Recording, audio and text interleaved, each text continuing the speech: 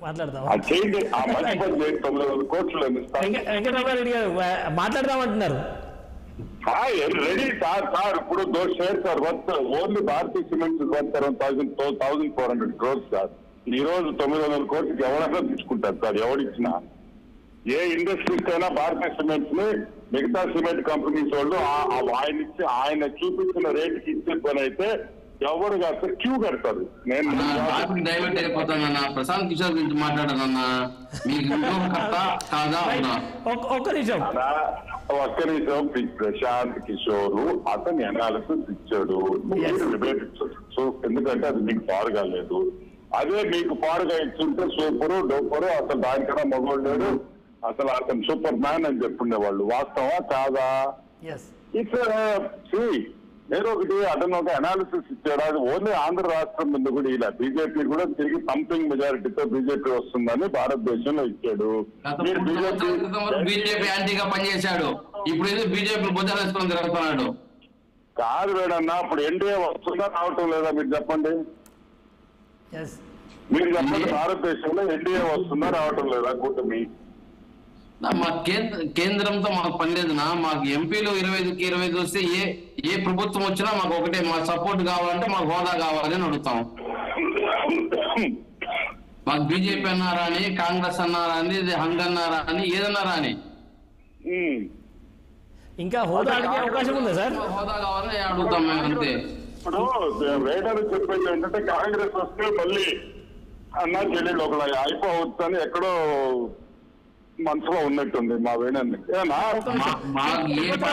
కేంద్రంలో. ఏ పార్టీ అన్నా రాని మా కేంద్రంలో పార్టీ తప్పండా మాకు పూర్తి మెజారిటీ వస్తే ఇరవై ఐదుకి ఇరవై సీట్లు వస్తే మాకు ఏదన్నా ఏ రాజకీయ పార్టీ కేంద్రంలో వచ్చినా ఆ పార్టీ మా సపోర్ట్తో వాళ్ళ ప్రభుత్వం ఏర్పాటు చేస్తామంటే మాకు ఖచ్చితంగా హోదా ఇస్తామంటేనే మేము సపోర్ట్ చేస్తామని చెప్పి ఒక డిమాండ్ పెడతాం ఓ పోయి పదే పదే ప్రత్యేక హోదా సభల్లో కూడా కనీసం ఇప్పుడు ఇప్పుడైనా వేణుగోపాల్ గారు గుర్తు చేశారు ప్రత్యేక హోదా అన్న అంశం దాదాపుగా ఏపీ పాలి పాలిటీషియన్స్ అంతా మర్చిపోయారని చెప్పి అనుకుంటున్నాం తప్పు సార్ అది జగన్మోహన్ రెడ్డి గారు పార్లమెంట్లో కానీ విజయసాయి రెడ్డి ద్వారా కానీ మా ఎంపీల ద్వారా కానీ పదే పదే అడిగిస్తున్నది అదే అదే విధంగా విశాఖపట్నం కూడా మోడీ గారిని పక్కన పెట్టుకొని మాకు హోదా తప్ప హోదాకు మించింది ఏమీ లేదు. హోదానే మాకు అమృతం అని చెప్పి కూడా జగన్మోహన్ రెడ్డి గారి స్టేట్మెంట్ కూడా అక్కడ ఏదైతే స్టేజ్ పైన కూడా మోడీ పక్కన ఉండి మాట్లాడడం జరిగింది. ఇంపార్టెన్స్. హోదానే. ఆ తర్వాత ఏది ఇచ్చినా దాని తర్వాతే. దానికి మించింది మాకు తెలియదు ఒక్క నిమిషం తిరుపతిరావు గారు మాట్లాడుతున్నారు. వేణుగోపాల్ గారు ఎన్నికల సందర్భంగా ఎన్ని పర్యాయాలు ప్రత్యేక హోదా గురించి వైసీపీ పార్టీ నాయకులు ఎక్కడైనా ప్రస్తావించారా? సార్ అవును మోడీ గారు ప్రస్తావించారా? పద్నాలుగులో ఇస్తామన్నారు. పద్నాలుగులో ఇస్తామన్నారు. మరి పంతొమ్మిదిలో చేశారు? మళ్ళీ ఇరవై నాలుగులో మమ్మల్ని ఆశీర్వదించండి అన్నప్పుడు గతంలో ఇచ్చిన హామీని మీరు ఏం చేశాము? కంటిన్యూ చేస్తామా? దాన్ని చేతికి చేస్తాము మీరు చెప్పారా? చెప్పాము. మీరే మీరు ముగిసిపోయిన అవసరం కాబట్టి మీకు ముగిసిపోయేటట్టుగా zero point eight five percent ఇచ్చారు రెండు వేల పంతొమ్మిదిలో. అప్పుడు ఇచ్చారు ఇరవై నాలుగులో కూడా కాబట్టి ఒక కమిట్మెంట్ లేదు కాబట్టి మీకు ముగిసిపోయేటట్టు ఇస్తారు అప్పుడు ఎంత ఇస్తారో చూద్దరు గారు అప్పుడు అయిపోయింది కదా. మీరు ఎన్నికల్లో ఎక్కడైనా ప్రత్యేక హోదా గురించి ప్రస్తావిస్తే మీకు ఇవాళ ప్రస్తావన అర్హత ఉంటుంది. మీరు ఎన్నికలు ప్రస్తావించినా ప్రస్తావించకపోయినా మీ ఎన్నికలు ప్రస్తావించినా ప్రస్తావించకపోయినా ఎక్కడైతే ప్లాట్ఫామ్ మాకు దొరుకుతా ఉందో హోదా గురించి మాట్లాడే ప్లాట్ఫామ్ అక్కడ ఖచ్చితంగా మాట్లాడుతున్నాం. మీరు వదిలేశారు. దీన్ని గతంలో ఎందుకు? మోడీ గారు మొన్న విశాఖపట్నం ఆదాయం క్రితం చెప్పలేదు మేము. విశాఖపట్నానికి ఆదాయం అదే విధంగా పార్లమెంట్ లేదా? మేము డిబేట్లో మాట్లాడటం లేదా? చేస్తున్నాను మీకు? ప్రత్యేక హోదా ఎన్నికల ప్రస్తావనలో ఏ నాయకుడైనా తిరుపతిరావు గారు తిరుపతిరావు గారు మాకు ఎక్కడ ప్లాట్ఫారం దొరికిన హోదా గురించి మాట్లాడే ప్లాట్ఫామ్ ఏడ దొరికినా మేము హోదానే కోరుతున్నాం. దానికి మించి ప్యాకేజ్ ఇంకోటో ఇంకోటి అడగడం లేదు. పోయినసారి మీ ఎన్నికలు ఏంటంటే ప్రత్యేక హోదా. అవును. అంశము పంతొమ్మిది కూడా అదే చెప్పాము. అన్నారు కదా ఈ మాట పద్నాలుగులో అదే చెప్పాము. ఇరవై నాలుగులో కూడా అదే చెప్తున్నాము. దానికే కమిట్ అయి ఉన్నాము మీరు చెప్పలా. ఇరవై ఇరవై మూడు మంది పార్లమెంట్ సభ్యులు ఉండేటప్పుడే మీరు చేయలేకపోయామన్నారు. మళ్ళీ మీరు మా మద్దతు మా మా మా మద్దతు మీరు ప్రభుత్వం ఏర్పాటు చేస్తే మేము ఆ డిమాండ్తో మీకు మద్దతు ఇవ్వాలి. మా మద్దతు లేకుండా మీరు ప్రభుత్వం ఏర్పాటు చేసినప్పుడు ఏ విధంగా మేము డిమాండ్ చేస్తాం దాన్ని అది ఎప్పుడు జరగని పని.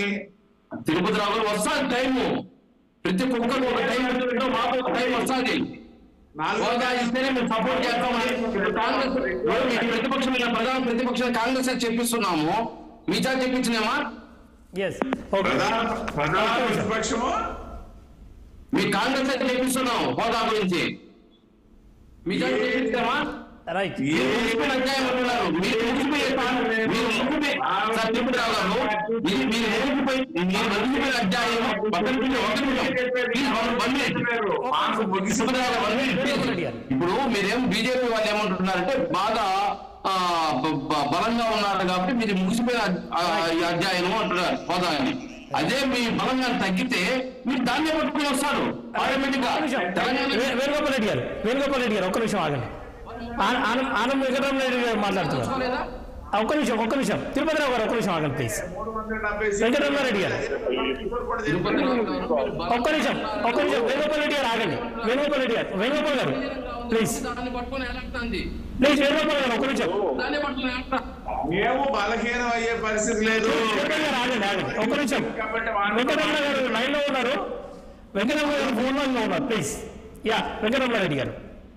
ఇప్పుడు ప్రశాంత్ కిషోర్ ఈ ప్రత్యేక హోదా పక్కన పెడితే ఈ రోజు ఇప్పుడే చూశాను నేను మంత్రి అంబటి రాంబాబు పిటిషన్ డిస్మిస్ చేసిన హైకో హైకోర్టు రీపోలింగ్ జరపాలని అంబటి అంబటి అంబటి పిటిషన్ డిస్మిస్ ఏంటంటే ఈ డ్రామాలు పది రోజులు అయిపోయి ఎలక్షన్